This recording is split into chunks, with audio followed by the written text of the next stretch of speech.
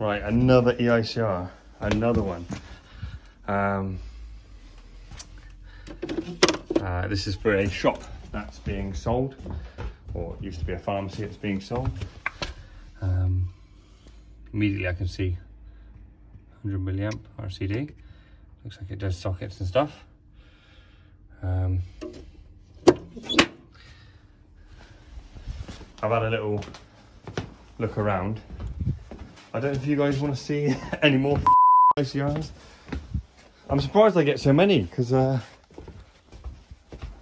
I'm not like a drive-by EICR spark. I actually take my time and and um, like quote them properly and adequately and do it thoroughly. So I'm amazed I get them. So do you want to see them? Do you not? Or should I just do a super quick one? Found a few things already just walking around with my inspections. This, for example, looks like someone's, I don't know if that's a ring or not, but made a little extension lead um, a floor socket. Um, I'm using Electraform today on this one. Like I use um, they I use Electraform and EasyCert. They both have their advantages and disadvantages. Um, but on this particular one, I particularly like Electraform um, for EICRs. It's very like uh, user friendly and uh, and like end user friendly. Sorry, very very um, yeah end user friendly. Uh, oh, I wasn't expecting it to look that good. I thought it would look like a. It's not that bad. Let's crack on. Right, I just uh, killed the power, did a ZE, and I got 0.25, I think it was. In the end, 0.25.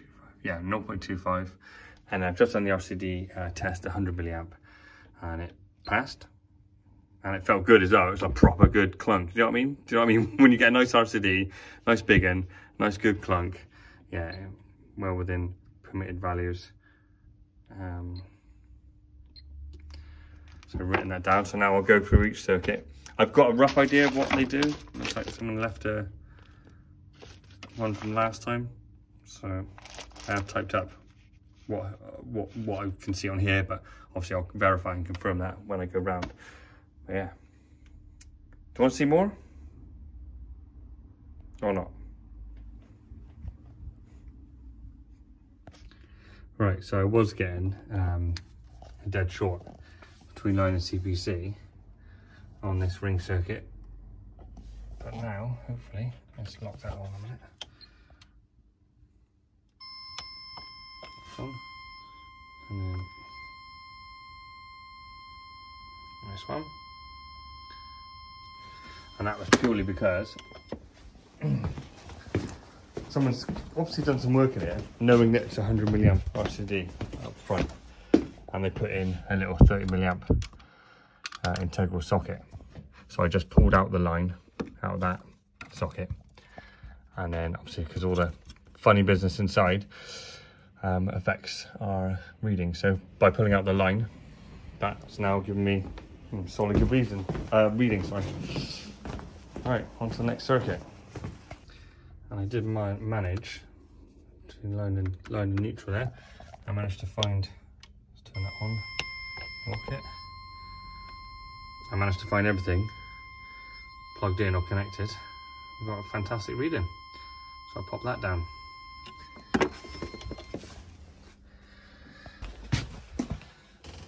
I've just disconnected that heater from that fuse spur.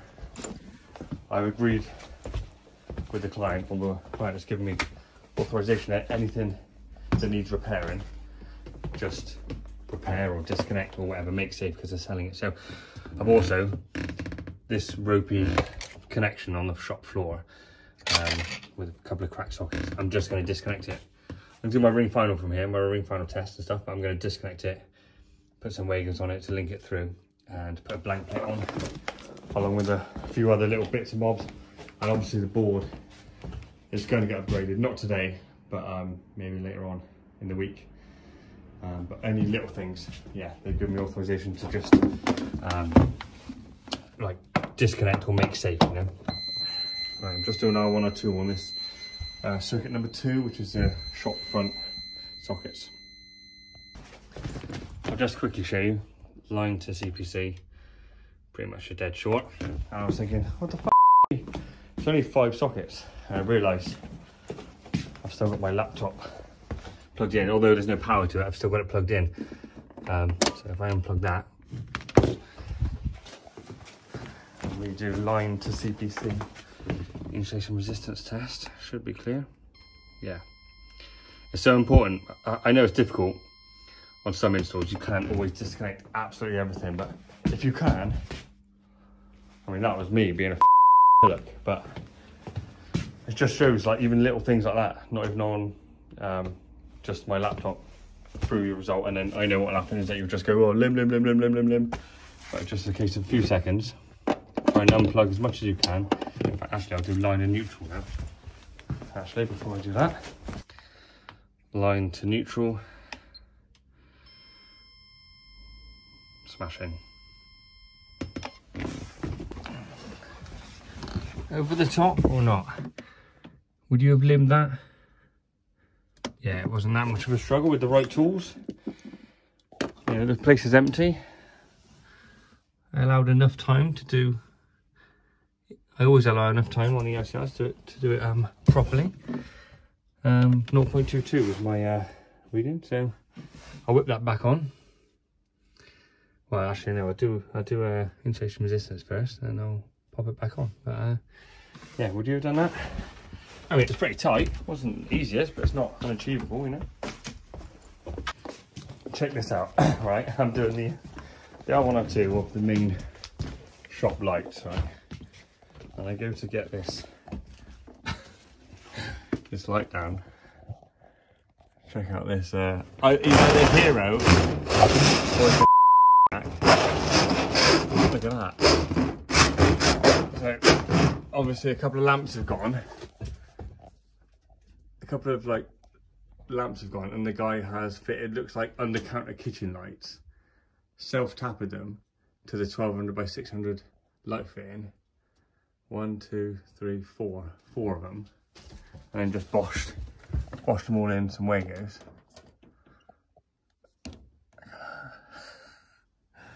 Rather than fix and repair the light,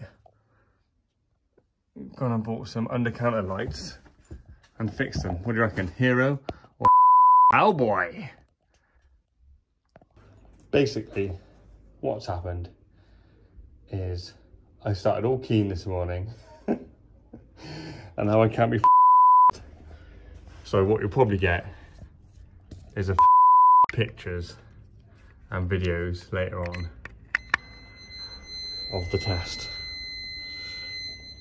because I got to crack on. I was all keen this morning. right, I'm packed up, pretty much done.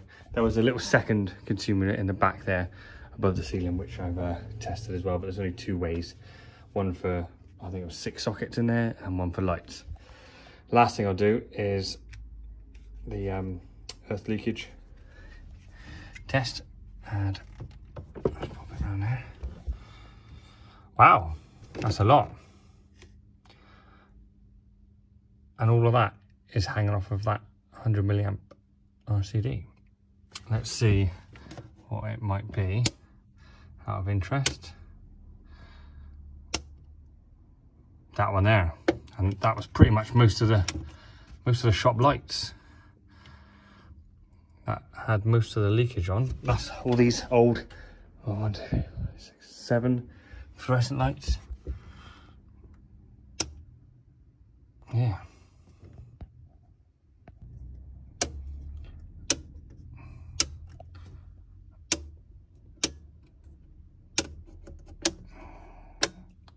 Looks like the rest of it is on the other, the other lighting circuit, really. There's a little bit across the others, but primarily that one. The two lighting circuits are carrying the most of the leakage, whereas all the others off. I did have an idea earlier as I was performing a functional test on a couple of the few spurs that fed um, water heaters and I think it was a fridge and stuff at the back. It was operating the RCD. And I thought, well, I, you know, the results were coming back good, like the actual um, circuits, the conductors. So um, I had an idea that there might be some kind of leakage. I didn't know it was going to be that much. Even I'm surprised by that. But um, so it's a, an accumulation has caused since I've been here, as I've been turning off and on things, the RCD has randomly been um, operating. But it's probably due to that leakage, which most of it is on that main lighting circuit. A new board is going in anyway. Um, it's going to be a new RCBO consumer I'll, I'll quote for. Whether I'll get it or not, I don't know. Now, I'm not saying I use this every single day. And there are cheaper ones. I mean, ones that are really, really expensive. And there are cheaper ones than this.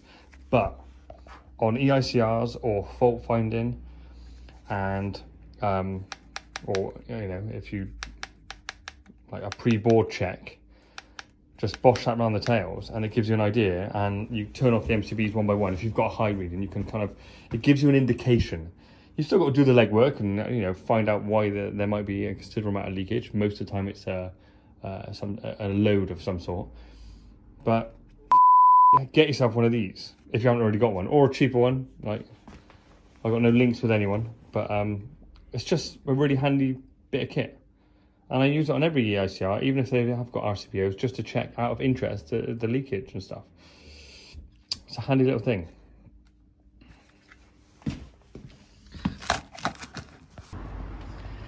Now that's probably the closest I've ever been to a board change.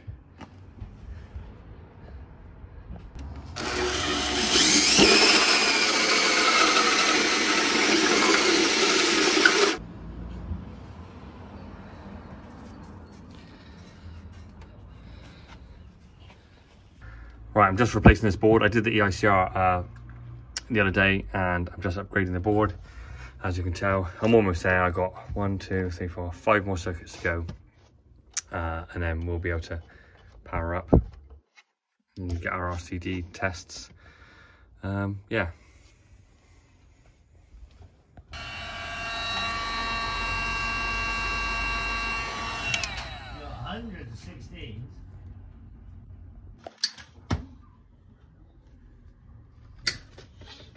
I tried, I'm trying these.